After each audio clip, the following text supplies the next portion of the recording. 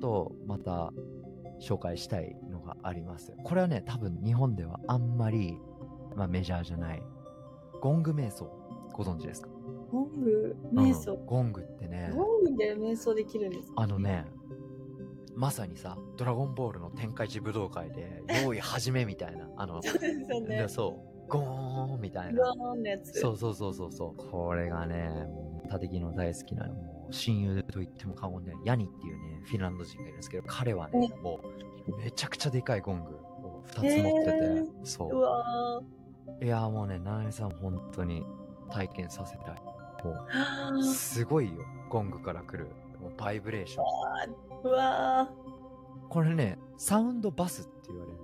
バスってあの、バスルームのね、お風呂。だから、イントロでね、即興で、はい。音のお風呂に入りませんかって言ったんですけど、ー なるほど。うん。なんていうの？ハーモニクスっていうのかな？ゴングの音の振動ってなんかすごく特殊で、それがなんかよくヨガスタジオとか瞑想センターとか、あとウェルネスイベントとかでこうね、あるんだけど、専門のそのゴングの演奏者がそれをやると、これはもう体験しないとわかんないんですけど、とりあえず、うん、その振動を体で感じることができます。で、普通になんか瞑想して、えー聞いたりとかする人もいるんだけど、まあ、人によってはもう本当に寝た状態とかで、完璧に寝ない、寝ちゃうと、なんか良くないみたいな言うんだよね。うんなんでかってかよくわかんないけど。だからもう隣の人が一個、っていびきかいちゃったらちょっと起こしてあげるみたいな。そう。だからね、はん本当にね、深い瞑想とか、もう眠る直前くらいの、それこそさっきね、バイノーラルビーツで刺激されるっていうのは、シータ波とかデルタ波のね、それこそ瞑想の達人とかが、もう、ほぼ、ね、お酒飲んで、全然深い眠りに入れないような、浅い眠りと同じくらいの脳波の状態、えーで、その、サウンドバスをするのがすごくいいって言われるんですけどね。ね、何気にね、そのね、ゴング瞑想でも、どこだっけな、スロベニアかな、ここに。えっと待ってね。スロベニアで行われた報告書があってね。でこれも他力はい論文、書ノートに掲載しておきますけど、うん。音音楽療法で、いろんな、その心理学、ちょそれこそ血圧とか心拍数が落ちたとかっていうのもあって、ね、まあでも、ね、寝転がって目閉じて音楽聴いてたらみんな、落ち着くからそれってどうなのって思う方もいらっしゃるかもしれないですけど、なんか面白いのが、その音を聞くと脳幹のその聴覚反応が向上しして、そうそうそうそうそう。でね、あと、シンギングボールってあの、チベットのさ、あるじゃん。うん。そうそう、サウンド瞑想とか、はい。あれもすごく、こう、なんつうの、テンションとか、ナーバス、緊張してるのとか、精神的な疲れとか、あとは抗うつ、うんディプレッション気味な人をね、軽減するっていうね、のがあって。でも、ネパー、ルでもありますよ。シンギングボールあるっしょ。を、うん。あの、と体に置いて、セラピストが音を置く、体にそのまま。やべえ、それ、それまさにあれじゃん。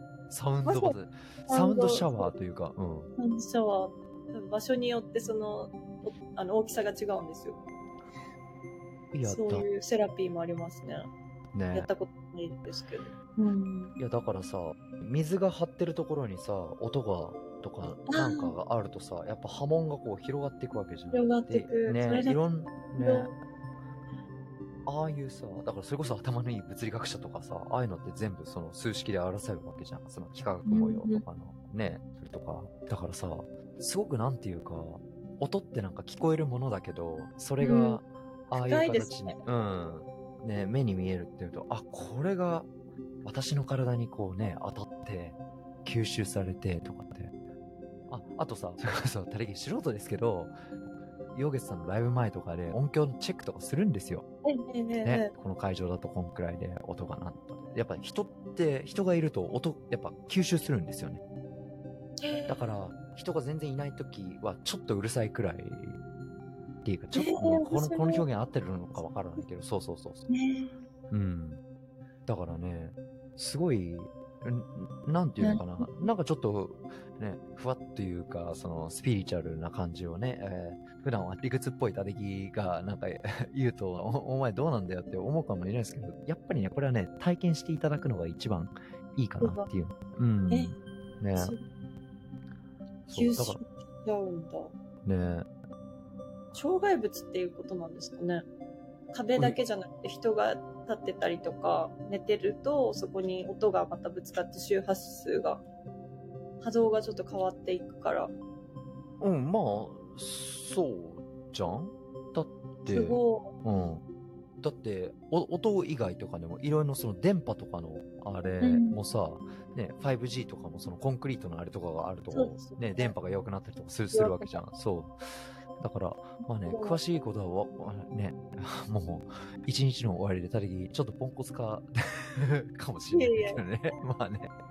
いでも。すもごい、うん、心臓に響きますよね。太鼓の音とかなんかああいう音って心臓にこうドンって響いてなんか体が吸収してるといううか、ん。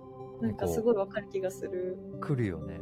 いや、だから来ます、うん生の音楽ってやっぱり。音ってね、不思議だよね。うん いやでもね、うんゴング瞑想ぜひね。だから、ヘルシンキ出張しなきゃダメだよ。なるみさん。ということで、皆さん、はい。バイオハッカーセンタージャパンの ご支援いただいたら、あの、ななみさんにねルイ・ヴィトンのバッグを買ってあげるじゃなくて、あの、ヘルシンキの出張ね、なあゆみさんとななみさん呼んで、で、ゴング瞑想をここいいですね体験することができるじゃないけどね。そう。うんっていう。で、じゃあ、ゴング瞑想、バイノーラルビーツとかいろいろ言いましたけど、最後は、はい、紹介したいのがもう一つあります。うんはいうんなんでしょエクスタティックダンスです。うダンス？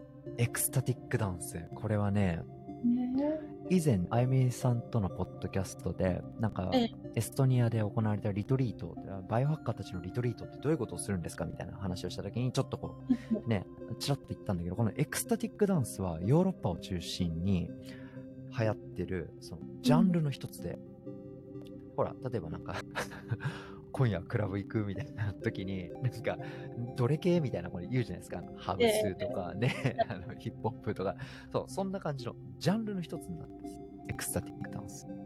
でで、そのエクスタティックダンスは、うんまず、お酒 NG で、うんうん。あと、もちろんドラッグとかそういうサブスタンスも禁止。うんそう。ねで、イベントとか DJ とかで工業側によっては、もうスマホでなんかこう、ストーリーを撮るとか、撮影とかそういうのも全部禁止えみたいな。ー、厳しい。そう。だから、もう、例えば、全然私、おダンスとかそういうのできないよ、みたいな感じで、あ私の踊り見たらなんか恥ずかしいとか、なんて思思われる、どうしよう、みたいな、そういうのなしで、その、内な、にある、もう表現するみたいな、っていうのが、そのエクスタティックダンスのルールというかね、あって、だから、じゃあみんなその自分の世界に入って踊り狂うのかっていうのじゃないんだけど、なんかこう、いろいろエクスタティックダンスは行われてるじゃないですか。ね、そのええ、いろんなミュージシャンというか音楽をやって。で、それで、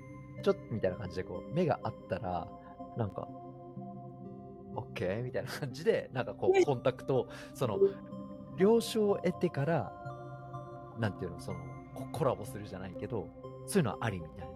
で、へーもし、なんか目があって、一緒に踊るみたいな感じの時で、いや、ちょっと、あの、僕の世界に入らせていただきますみたいなことだったら、あ、それは NG なんだみたいな。それはアイコンタクトとかなんか感じ取るみたいなルールがあるんですけど、はい、うん面白そう。そう。で、その音楽はジャンルいろいろあるんですよ。そのエレクトロニックダンスとか、なんかあのええ、なんかすごい、なんつうの、ヒッピー系のトライバルみたいな、なんかあの、民族のさ、なんかお祭りみたいなのとかもあったら、なんか太鼓とかね、みんなで叩いたりとか。で、あとはアンビエントの自然としたなんかちょっと癒し系の音楽があったりとかで、もうその音楽の種類は多様なんですけど、そのエクスタティックダンスっていうのは、一つのジャンルとして、まあ、ヨーロッパを中心に、日本でもあるみたいです。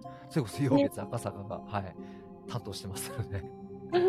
そう。イベントに参加しなきゃ。そう。で、エクスタティックダンスうに関する研究も多少なりともあるんですよ。うーん。そう。だからフリーフォだからこれエクスタティックダンスっていう表現をしてるんですけど、そのフリーフォームダンスが、あその、いわゆる、人間固有の自己表現とかの、ほら、ま、あるじゃん、マズローの五大欲求みたいな。自己実現そう、自己実現とか。だから、そういうところに、その自己表現を理解するために、一番そのフリーフォームのダンスが適してるとかって、こう結論付けてるレビューとかもあったりとか。まあでも確かにそうだよねっていうね。うん。だって、もう、ん私がどう見られてるか気にしないでも、なんか、音に身を任せて、その、表現していく動きでえっていうのは。まさにバイオハッカーたちが好きそうなあれなんじゃないかっていう、そう、なんですよ。なんか、ネパールにも、うんあの、王王将うん。があるんですけど、王将。王将ってあの、餃子？王将。王将王将 すいません。すいません、すいません。はい。発音が。そう。そこでは目を閉じて、本当に音楽だけ聴いて踊るっていうセッションもあるみたいで。なんかちょっとあ感覚的に言ってそう。だから人からどう見られてるかも気にせずに笑ったり、あの泣いたりとか、うん感情を出してくみたいな。いや、だからさ、ね、うん。たてきはもう本当陽月さんと一緒にいろいろイベントとか、ね海外のパフォーマンスとか一緒にいて、まあ、黒子のようにこう、徹していろいろやってるけど、で、本人もパフォーマンスにすごい集中してるじゃないですか。普通に泣いてる人とかいるよ。ねうん。だから言って、ね、なんか、別に、うわ、な、何に泣いちゃってるのあの人とか、何あの人あんなぶっ飛んでんのとかっていう人なんかもうほんといないし、うん。もう、ガー泣いてもありがとうみたいな感じで。ああ、素敵。そうそうそう。で、あとは、もうね、最初そのイベント始まる前とかではなんかすごく、いわゆる静か系の人かなっていう人とかが、その、始まるともうすごいもう、ガンガン狂ったようになったりとか、そう。そういうの見てると、うわ、気持ちいいなとかって思ってて。うん。なんかね、それもセラピーですよね。いや、セラピー、セラピー。うん。うんだから普段そんなね、めちゃくちゃ恥ずかしいとか人前に出るのも嫌みたいな、で、言ってそうな雰囲気のある人とかが、もう、ガーって出ててたりとか。で、え、ちょっと待って、なんか変な、怪しい薬とか使ってんじゃないのとかって、もちろんエクサティックダンスはそういうの禁止ですから。うん、そう。で、お酒も飲まないのに、ハイになってるっていう。うわ、そう。で、まあ、気にります。まあ、たてきも般若心経を、ヨゲスさんのアップテンポになった時、こう、イエーイとかってやりながらやって、で、それでこう、踊り狂って、ちょっと横見ると瞑想してる人がいるみたいなね。形式なんてもう全然ないみたいな。いけない。ううんん、っていう、すごいね。っていうジャンルがありますよ。これも一つのサウンドセラピーなんじゃないかなってたてきは思ったんで、まあ日本では全然馴染みがないことかもしれないですけどね。いや、いや日本でもそういうの今、あ、流行ってるんですよみたいなね、ことあったら、ぜひね、なんかコメントとかね、意見とかいただけると嬉しいんで。うんそう。っていう感じ。でもやっぱりスピーカーとかで聞くよりも、うんやっぱ生演奏に勝てるものはないですよね。いや、そうだね。そうですよね。だから。全然効果も、そのセラピーとしての効果も違ってくるんです。ああ、うん、そうそうだよね。やっぱり臨場感とかさ、うん。すごいこう、ブワってくるような。あれってやっぱね、生ライブじゃないと、聞けないしね。うないです。うんそうそうそうそう。まあ、なんか今日どう紹介した中で気になるみたいなのとか。そのバイノーラル？まあ、バイノーラルビーツ。バイノはいーラルビーツはもう早速や使ってみたいうん。ですね。だからね探してみたいです。そうなんですよ。たてきもね、やっぱヘッドホンしてそれ聞いちゃうとさ、ね、例えば子育てしてる人とかだとね、子供がどうなってるかとかっていうのがあれだから、たてきもあんまりやれてないけど、その出張とか、なんか一人でなんかやんなきゃいけないって時はもうバイ、もう、バイノーラルビーツ使えますね。いやー、面白い。っていうのが今日ご紹介させていただきました。今日はイントロでちゃっかりね、Q&A シリーズとは言ってなかったんですけど、あのね、多分ね、ボロボロで、あの質疑応答する 元気がないと思ったので、はい。今日はね、今何時ですか？ボストン。ボストンは今11時半です。あ、遅い。はい。だから明日、明日はね、たれきはがっつり寝て、はい、寝て、たくさはん寝て。8時間睡眠とってみたいな感じですね。しっかり。1時間寝られてるんですね。な8なるべく、はいおー、素晴らしい。そ。そうじゃないとやっていけないですみたいな。うんえ、逆になんか睡眠中にうん。寝ながら聞いた、聞くっていうのはどうなんであしょう？だからねね、バイノーラルビーツうんの8時間とかあるよ。へー8時間ぶっ続けバイノーラルビーツとか。うん。でもそう。寝ながら取れちゃうかもしれないけど、でも効果ありそうですよね。なんか。だから、立木はあれですよ。フライト中それやってます。ああ、そっか。そう。ね。ずっと聞いてらっしゃそうう。んで、バイオハッカーたちはね、さらにあの、Bluetooth とかの電磁波をこうね、気にするから、ほら、立木も有線使ってます。る。わー、そう。さすが。基本、スマホとかはね、遠いところに置いとくんですけど、ああ、電磁波ね。そうそうそう。でもね、この立木の使ってるこれとかはブロックするんで、あそう。立木の下着も、はい。立木の下着に卵を入れて電子レンジにチンしても、ええ。卵を爆発しないっていうね、ゆで卵ができるっていう特殊な素材で。できてます面白い。え、そんな素材の、まず洋服があるんですね。あ、あります、あります。はい。ね、電磁波をシャットダウン、シャットアウトしてくれる。シャットアウトすしてくれる、そう。すごい。宇宙服とかにも使われてる、そう、あ素材あ、素材？そうそうそうそう。い重そう。そんなことないですか？や、そんなことないよ。洗濯とかできな、できるんですか？選択、選択しますよ。はい。ええそう。だからエアプレーンモードにして、有線で、こう、つなげて、で、8時間のバイノーラルビーツを聴いて、カーみたいな。そう。いやー、今日いろんなこと聞けちゃった。よかった。なんか、ななみさんがなんかそういう風に言っていただけると、きっとリスナーの方も、おお、ためになったみたいな、いや、すごい。リアクションを期待してるたてきみたいな。いやいや、本当に。なんかね、実践できそうなことがたくさん。そう。ね、なんかハンドパンとか、あの、家でやっぱりスピーカーよりも自分で音楽をこう、こう奏でたいっていう時、やっぱハンドパンとかハンドパン持ってる？持ってないんですけあ、ど、で嘘、もた、たてきあるよ。インドのやつはね、あの、ちょっと違うちっちゃいやつ、あはいはい3グラム、はいはい。はいはいはい。はい、はあります。えー、すげえ。はい。いや、あのねま、たちょっとした楽器をいっぱい持つってなんかすごいいいと思う。なあ特に。お子さんがいらっしゃるね、ところは。海外、そうですよね。その海外に旅行に行った時は、その海外の楽器を見て気に入ったものを買うとかいいですよね。あそういう。ほんとそうだよね。やっぱあの太鼓とかもなんかさ、作りとかによって全然その、ち同じじゃないもんね。和太鼓には和太鼓の魅力があったりとか、他のね、なんか民族とかの太鼓とかも全然作りが違うし、ねやっぱ音ってね、すごいよね。すごい。そっかそっか。じゃあ、まあね、いや、今日ね、結構、あ理屈っぽく話したくなかったんですけど、多分、たてぎめちゃくちゃ深掘ったんですよ。だから、ショーノート多分、めちゃくちゃリンク多くなると思います。お願いしますい。や、な、なぜかっていうと、やっぱりね、陽月赤坂がやってることをね、なんかすごく、ね、あと、ウェルビーイングの研究にもゆくゆくは繋がっていくかなと思うんですよね。で、うんうんそもそもね、予算降りないじゃないですか、研究費が。そんなね、音楽療法のためにみたいな感じ。だから、規模がね、それ以外にもっと大事なところをね、なんなんとかの治療薬とか、そういうところに行くわけじゃないですか。うん。